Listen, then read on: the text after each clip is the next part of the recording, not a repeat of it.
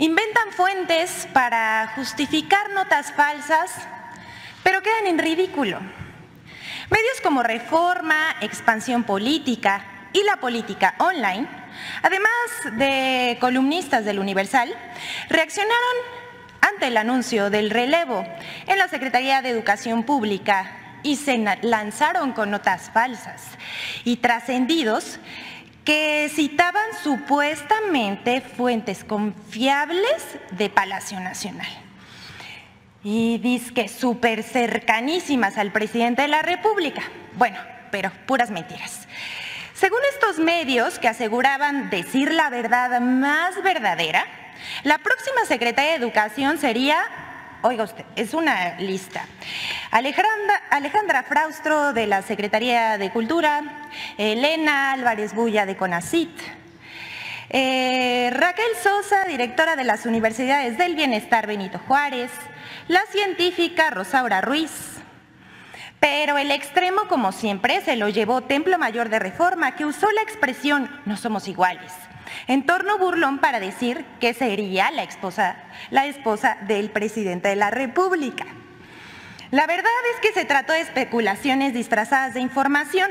La nueva titular de la SEP es la maestra Leticia Ramírez. Es una mujer comprometida y trabajadora y con experiencia en la docencia, pero también en la función pública. Será la segunda maestra que ocupe el cargo, junto con la maestra Delfina Gómez. Una vez que se dio a conocer este nombramiento de nuestra querida Leti Ramírez, quien al Frente de Atención Ciudadana de la Presidencia de la República demostró una profunda sensibilidad social y su vocación de servicio. A los conservadores, pues eso no les gustó. Que una maestra ocupe nuevamente la titularidad de la SEP se ve que extrañan a personajes como Otto Granados, Emilio Chaufet, Aurelio Nuño, Josefinas Vázquez Mota o alguno de los siete abogados o dos economistas que fueron nombrados durante el periodo neoliberal, muchos de ellos acusados de corrupción y que impulsaron la privatización de la educación. La mal, la mal llamada reforma educativa, que más bien fue una reforma laboral. No cabe duda que estos personajes desprecian que se atienda al pueblo. Por eso no les gusta que las organizaciones, sindicatos y ciudadanos vengan a Palacio Nacional y sean atendidos eh, por sus demandas, como nunca antes había ocurrido en ningún otro gobierno. Pero ese es su nivel y dejamos que usted juzgue. Eh, lo que escribió o dijo un periodista de estos famosos, que además este, eh, es este, considerado experto sobre el nombramiento de Leti Ramírez.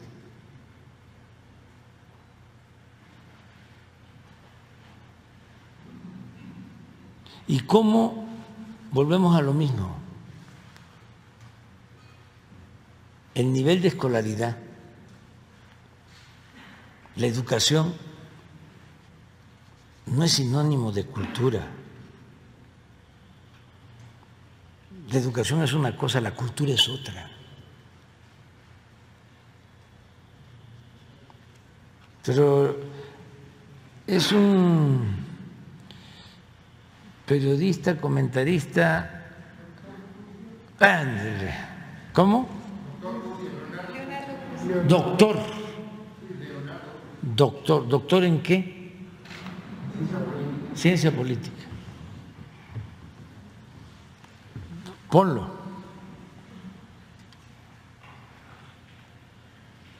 Fíjense, independientemente de si eh, ¿es cierto o no?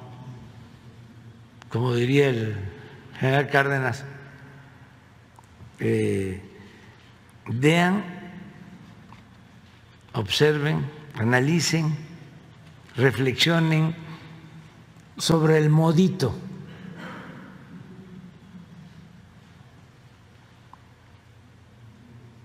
Ese es el problema del conservadurismo.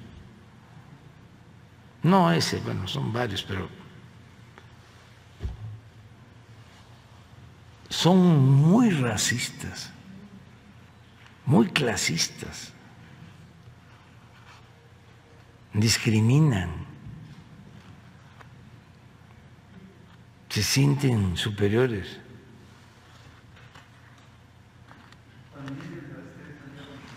Pero este es interesante porque eh, ah, después de que lo escuchemos,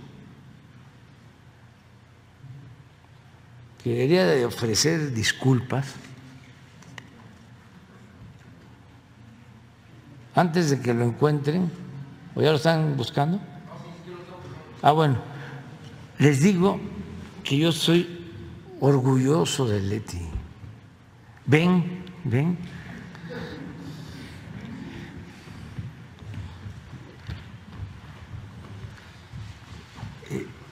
Es una mujer excepcional, maestra de escuela, de aula, ejerció 12 años, se formó en una de las mejores escuelas de México. La Escuela Nacional de Maestros. Escuela Nacional de Maestros. Pero estuviste con la Chela. Eh, la escuela, la primaria. Sí. La Manuel Bartolomé Cosía. De las mejores escuelas de este país. Sí, con el maestro Pepe. Exactamente. Bueno, siempre con una postura eh, en favor de las causas justas. Nos conocemos desde 1994. Trabajó conmigo de el 2000 al 2005 como eh, encargada de atención ciudadana, que no es cualquier cosa es atender a la gente, escuchar al pueblo, a los que traen sus peticiones, sus demandas, a los que necesitan asesoría. No todos tienen paciencia, lo decía el general Cárdenas, para saber escuchar al pueblo. La voz del pueblo es la voz de Dios y es la voz de la historia. Bueno, eh, en el movimiento opositor siempre juntos. Era eh, decirle, ayuda, te necesitamos en Tlaxcala. Y dejaba a su niña o se la llevaba a trabajar, a hacer conciencia, a organizar al pueblo para conseguir la transformación.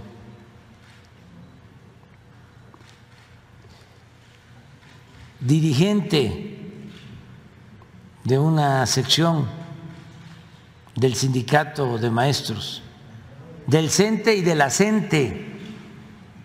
honesta. Entonces, me siento muy, muy, muy, muy, muy orgulloso de tener una secretaria de educación. Lo mismo que la maestra Delfina. Lo que pasa que esto que van a escuchar eso es la mentalidad que prevalecía. Tenían que ser eh, fifís, los servidores públicos, lo que pasaba en las cámaras. Tenía que ser gente preparada, parlamentaria. ¿Cómo iban a llegar los campesinos? ¿Cómo iban a llegar los obreros? ¿Cómo iban a llegar los comerciantes? Los indígenas a cargos de representación popular. Ellos no podían ser representantes populares, tenían que ser los sabiondos. Todas estas eh, rémoras que venimos arrastrando, lamentables, y que eh, se expresan y son por eso más eh, eh, viles en los doctores, en los supuestamente eh, más preparados. Esto, ¿ya lo tienes? geografía e historia, sí. Y, pero es también de los que forman el grupo, no tan limitado, ¿eh? sino considerable, de opositores, de toda la intelectualidad esta que se fue eh, agrupando durante el periodo neoliberal. Eh, de todos los que legitimaban el régimen de corrupción se quedaban callados. Y es importante también porque ¿en qué medio están? Canal 11. Hablan de que este, hay censura, somos autoritarios. Canal 11, para la gente, el Canal 11 es el canal del Politécnico y en la organización de administración pública, el Politécnico depende de la SEP.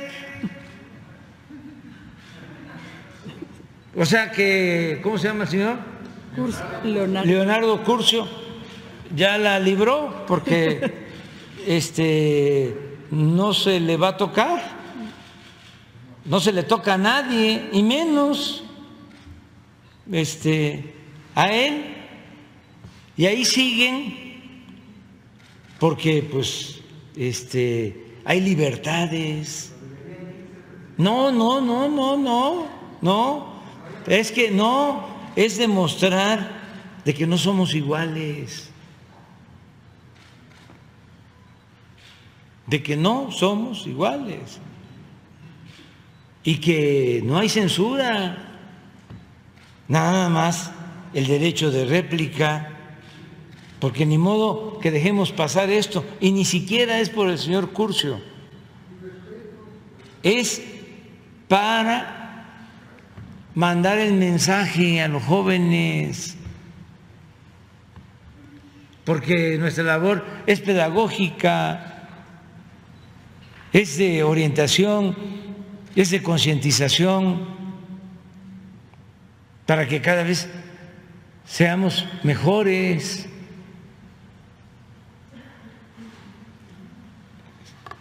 Tener una sociedad mejor significa tener ciudadanos que respeten, que no sean clasistas, que no sean racistas, que no discriminen, que no humillen, que no se sientan más que otros. El poder es humildad.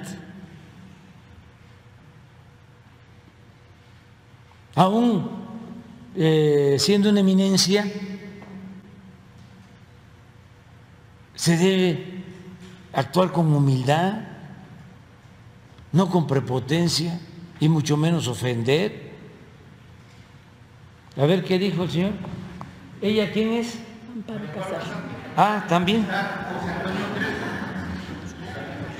que han dicho ustedes. O sea, que el presidente confíe en un círculo amplio con el que ha gobernado, supone que está reclutando a técnicos. Se ha nombrado a Enrique Semo, secretario de Educación, a Luciano Concheiro, son, son gente del presidente, pero tienen credenciales para hacerlo. En este caso va y recluta entre los que lo ayudan, o sea, entre mi oficina directamente. Dice, a ver, este señor Villegas que me ayudaba se va de embajador a Rusia. Esta señora que me atendía las llamadas se va de secretaria de Educación. O sea, yo no digo que nombre a María Amparo Casar, secretaria de Educación, o a Carlos Elizondo. No tendría la competencia. No te digo, no, bueno, es un decir, no, pero podría decir, ya, ¿por qué no nombra a quienes están? Podría nombrar a muchos de la 4T que lo han acompañado y que tienen competencia técnica y un proyecto político. Y aquí el nombramiento es, chicos, me tienen decepcionados. A mí los únicos que me gustan son los militares y los que están cerca de mí. De todos los demás. Este, no la podría este, nombrar. Eh, sí, eh, y Leti es de primera y eh, que porque contestas el teléfono. Qué bueno. Qué bueno que contestes el teléfono, porque hay quienes no contestan al teléfono. Sí, ¿Eh? sí, sí, sí. sí.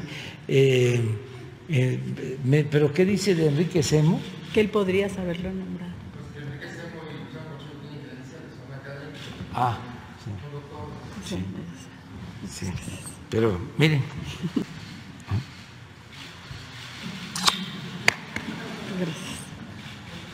Muy bien. No olvides suscribirte a mi canal. Y sígueme en mis redes sociales. Me encuentras como Balbás Academic en Twitter, en Instagram y claro, en YouTube. En Facebook me encuentras como Balbás Academic JC. Si tienes alguna idea de algún tutorial, házmelo saber en los comentarios. Y comparte este video para que llegue a más personas. Y no lo olvides, nos seguimos acompañando en este camino. Gracias.